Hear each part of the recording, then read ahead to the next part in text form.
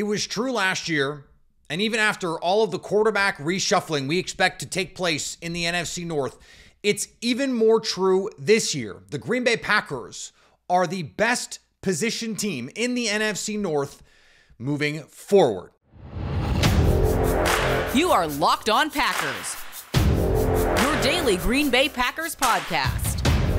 Part of the Locked On Podcast Network. Your team every day.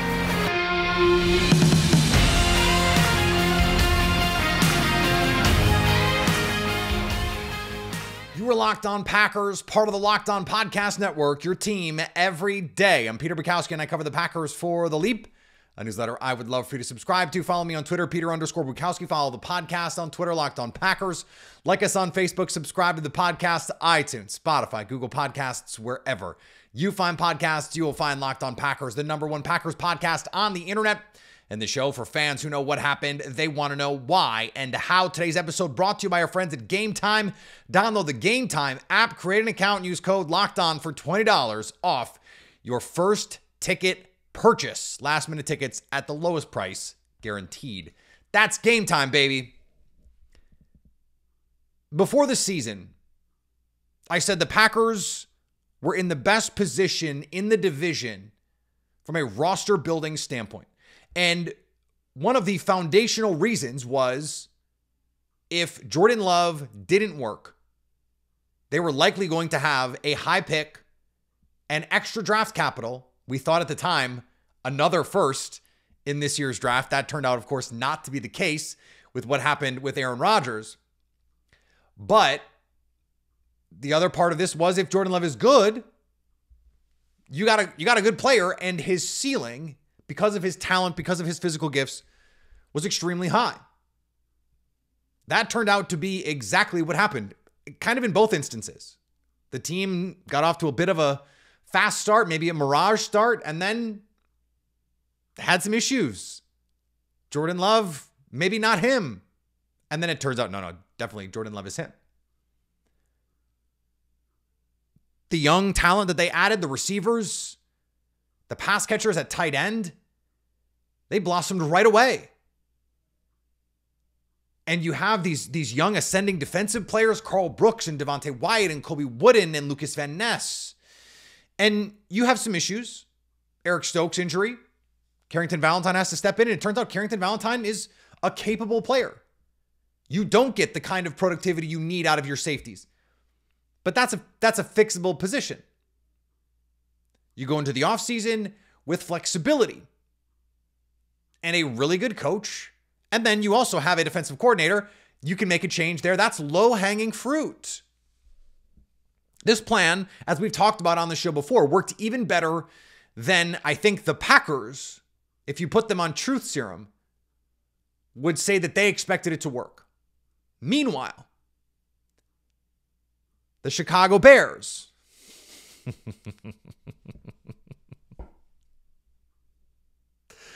Oh, the Chicago Bears. Justin Fields headed to Pittsburgh for a sixth round pick. Yeah, it can be a four, but that's all. He didn't even get the Trey Lance package in Dallas. That's what the league thinks of Justin Fields. And that plan from the beginning was flawed. They decided to build around Justin Fields one more time rather than use the number one overall pick on a quarterback, whether it was Bryce Young or CJ Stroud or, or Anthony Richardson. I would I would argue that if they had done picked two of those three guys, they would be in much better position than they are now. Bryce Young, I, I thought that that was always a reach. I would have taken Stroud or Richardson and felt really good about it.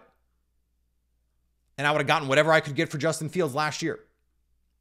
Now they're going to take Caleb Williams. It worked out for them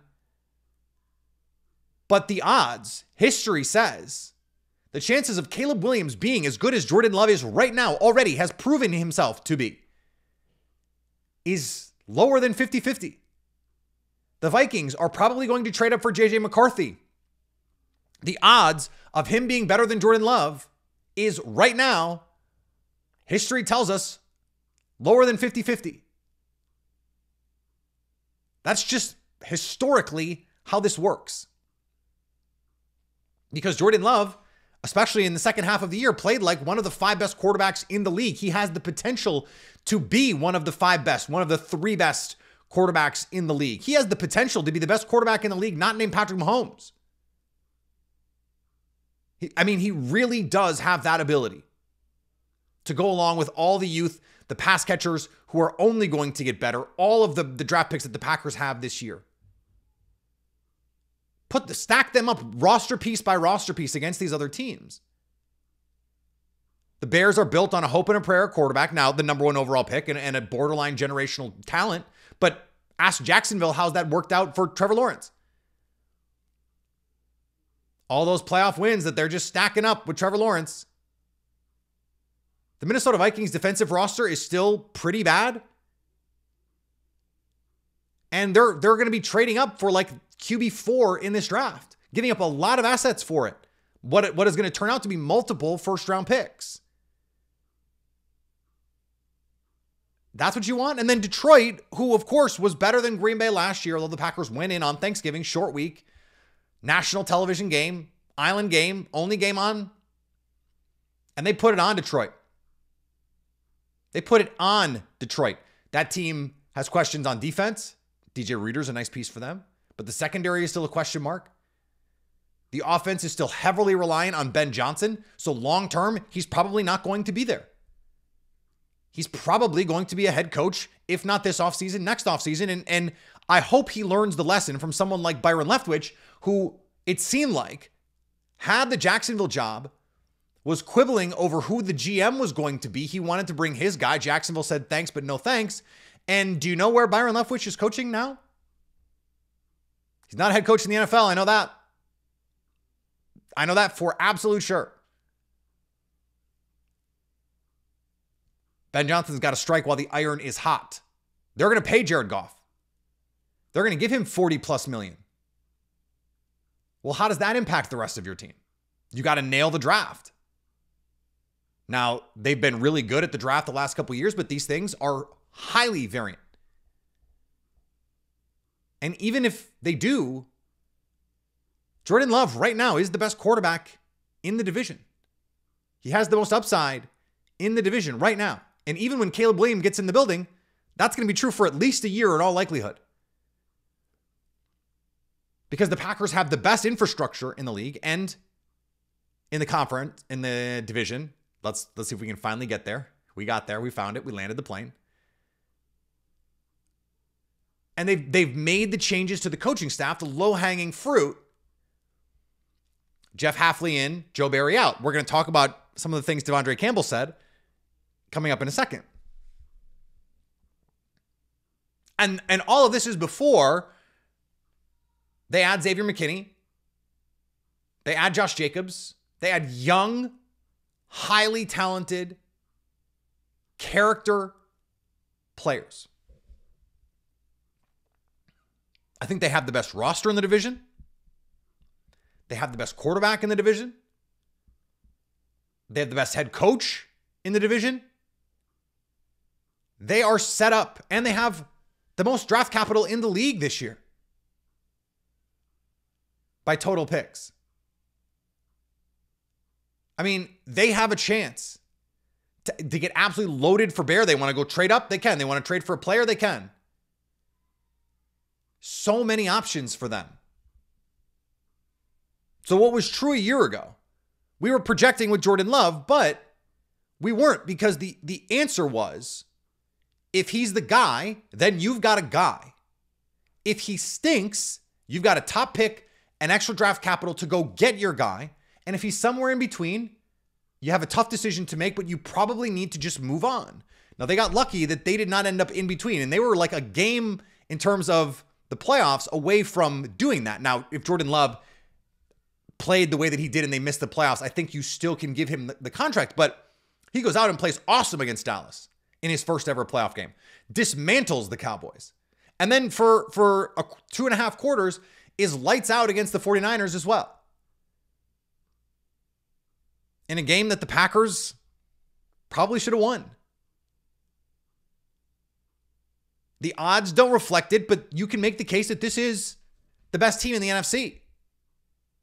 And they certainly have the potential to be the best team in the NFC. All of the young players on this roster, Jordan Love in year two as the starter. You, you get Jayden Reed in year two. You get Dontayvion Wicks in year two. Luke Musgrave and Tucker Kraft in year two. Karl Brooks and, and Colby Wooden in year two. Lucas Van Ness in year two with an elevated role now that Kingsley Enagbare is hurt. This plan has them in position to once again rule the North, no matter what Bears fans tell you. Now, was it perfect getting here? Were there issues last year? Are they being publicly aired, the grievances? Yes. We're going to talk about that in just a second here on Locked On Packers. Did you know that even if you have a 401k for retirement, you can still have an IRA? Robinhood has the only IRA that gives you a 3% boost on every dollar when you contribute to Robinhood Gold. But get this now through April 30th, Robinhood is even boosting every single dollar you transfer in from other retirement accounts with a 3% match. That's right, no cap on the 3% match. Robinhood Gold gets you the most for your retirement thanks to an IRA with a 3% match. This offer is good through April 30th. Get started at robinhood.com slash boost. Subscription fees apply. And now for some legal info. Claim as of Q1 2024, validated by Radius Global Market Research. Investing involves risk, including loss. Limitations apply to IRAs and 401ks. 3% match requires Robinhood Gold for one year from the date of the first 3% match, and you must keep Robinhood IRA for five years. The 3% matching on transfers is subject to specific terms and conditions. Robinhood IRA available to U.S. customers in good standing. Robinhood Financial LLC member SIPC is a registered broker dealer. And as you know, Locked On has launched the first ever national sports 24 7 streaming channel, Locked On Sports Today. Baseball fans, mark your calendars for March 20th at 7 p.m. Eastern for the best MLB season preview coming exclusively to Locked On Sports Today. On March 20th at 7 p.m. East, be the first to get local insight from the Major League Baseball local experts of the Locked On Podcast Network. Find it on March 20th at 7 p.m. Eastern on the Locked On Sports Today 24 7 streaming channel on YouTube or the free Amazon Fire TV channels app. De'Vondre Campbell had some thoughts. That's an understatement. De'Vondre Campbell had some thoughts on being released. Said the Packers didn't come to him asking for a pay cut, they just cut him. That the coaches did not put him in a position to succeed. And it wasn't until the end of the year when he started having private conversations with Matt LaFleur, insisting that they blitz more, that they play more man coverage, that the defense started to play better. And that one of the reasons why he didn't play as well the last two years was bad coaching and personnel issues. Now, I agree with a lot of that. There were personnel issues, there were coaching problems. I, I respect De'Vondre Campbell for saying, I'm not going to let people slander me.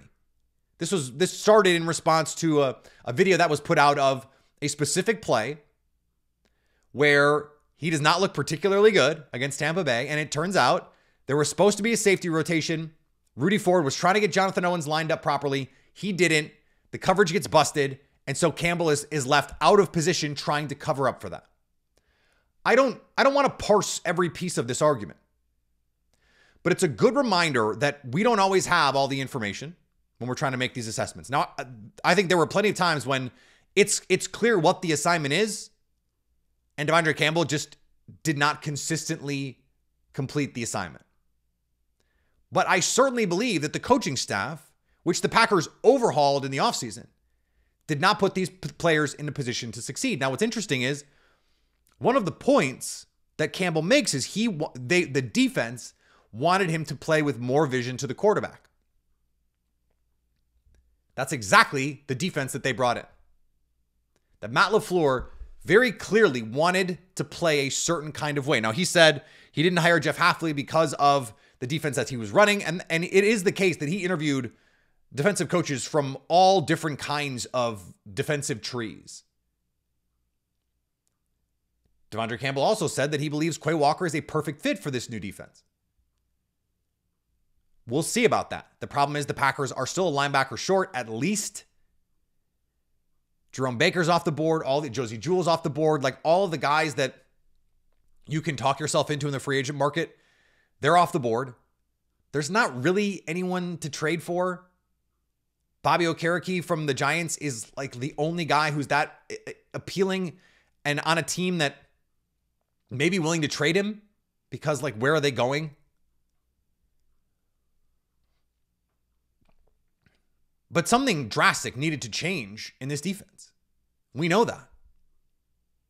I also think it's important that players feel empowered to push back on narratives that they don't like. I want to hear from players. I want to hear from them.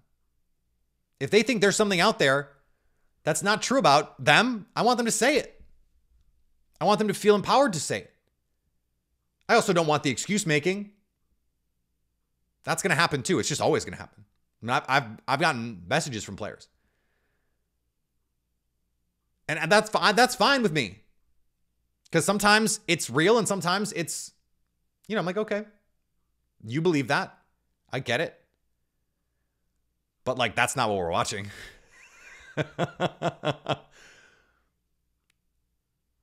what I find troubling is this idea that, you know, De'Vondre Campbell basically said in 2021, he was all pro essentially because he did not listen to what Joe Barry was saying. That means in 2021, you have a player and the coaches are watching the tape. They know what the assignments are.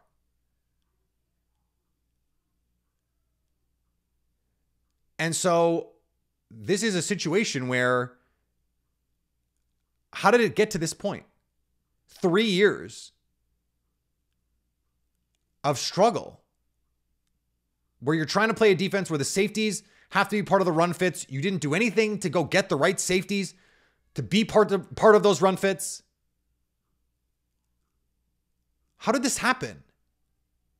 It's not it's not a good look. And I know I'm, you know we, we go it's a little bit of whiplash. We go from praising them in the first segment for all of the work that they've done. But that's not to say that this is perfect.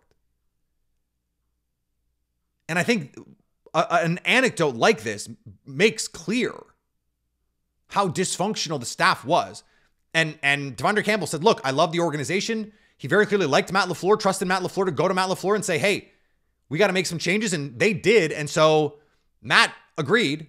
This is by the way another reason why you just like when when it when it gets to this point, when you have to have secret clandestine meetings, redundant, with your head coach because the defensive coordinator doesn't know what he's doing, it's time to be done. It's time to move on. And when you have your, your middle linebacker, your greened out player, your signal caller on defense going, I had to not listen to my coaches because they consistently did not have us in the right positions. How, as a head coach, can you allow that to happen over time? It does not reflect well on Matt LaFleur, unfortunately assuming this is true. And all we have is his word. At some point, we'll get to hear from Matt LaFleur. I hope he gets asked about it. But there's also a reason there's a new defensive coordinator and, and an almost entirely new staff. So you you have to put all these things into some amount of perspective. But I think for the Packers, it, Matt LaFleur, this needed to change.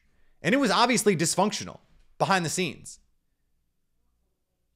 I, just I don't know how you can come to any other conclusion. Now, you know, as has been pointed out, Darnell Savage didn't leave and flame the organization. Jonathan Owens didn't leave and flame the organization, the defense. Didn't blame anybody else. So there is a line to walk here. And again, I want players to feel like, hey, I want to set the record straight on some of this stuff, at least as they see it, because that is what it is. It is the record as they see it. We've all been in situations at our jobs, and and it is often a fool's errand, almost always, in fact, a fool's errand to compare any other job to, to an NFL locker room or an NFL organization. But we have all been in a position where we felt like, or a friend, a colleague felt like, or someone that worked for us felt like we or they were being wronged, they were being treated unfairly, and everyone else was going, No, you're not. No, you're not. We don't know the truth of the matter. We don't. But I think the actions tell us a lot. The actions that the Packers took to clean house That says drastic changes needed to be made. And that's true. That's very clearly true. Now, this does unfortunately create a problem for the Packers. Not not the the drama, no. Even if Quay Walker is good, they're still a linebacker short. And I don't know where they're going to get it. I don't. Because the draft stinks. The free agent market is a disaster. And there's not really much on the trade market. So you're you're you're not only losing a player who you know, for whatever you want to say about him, was still a solid player last year. I think pretty clearly not the guy he was in 2021. And and you can go back and look at this is not about this is not about crapping on De'Vondre Campbell, but you go back and look at his career. He has one great season and then a bunch of other seasons where he was more or less the guy that he's been the last two years in Green Bay. Like that's why he was on, he's going to be on his fourth team in his career. So that's part of this too. But Quay Walker and Isaiah McDuffie, that ain't to cut it. And I don't I I don't know where they go from here. I really don't.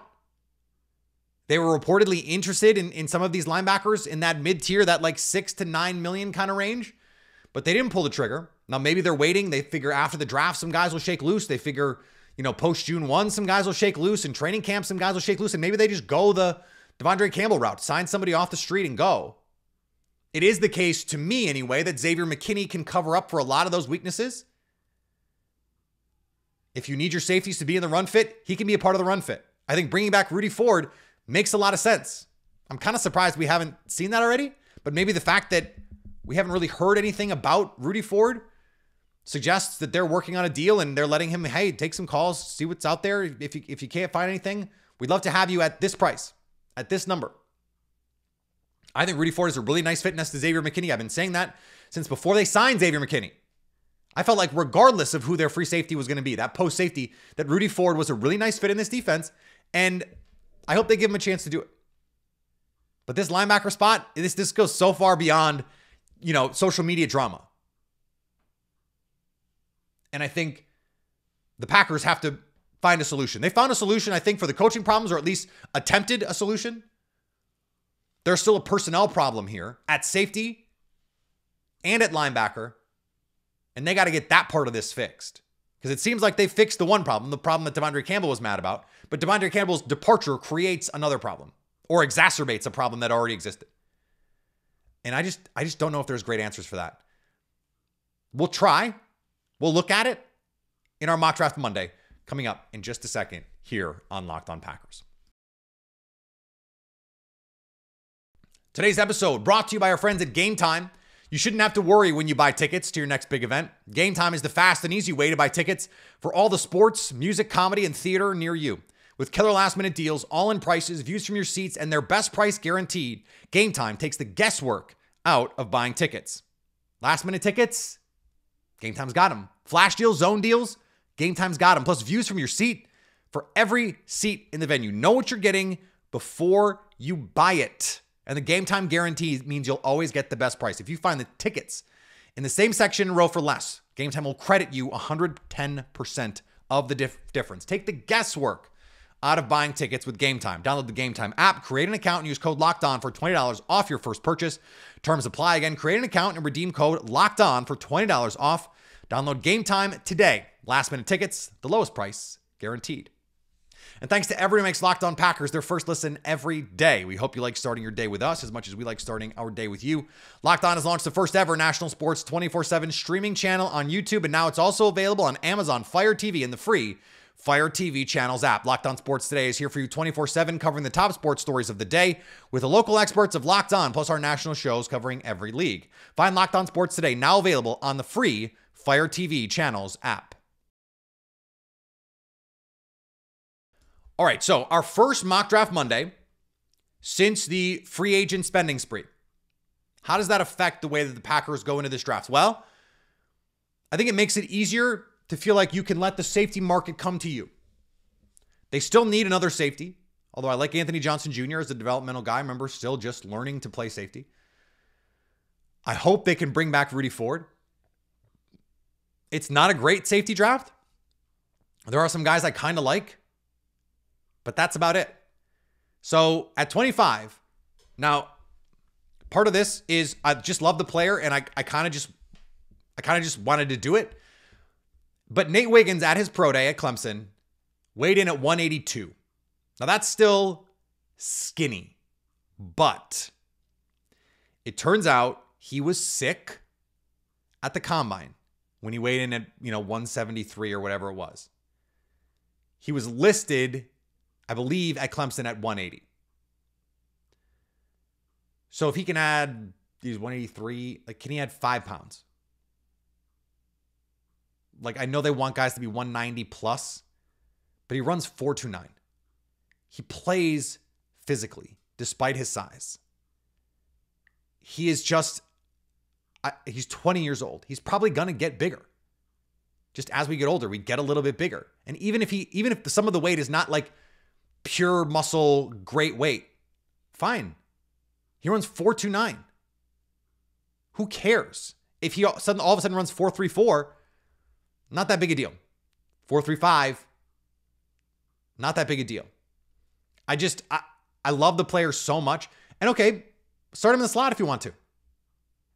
Smaller player.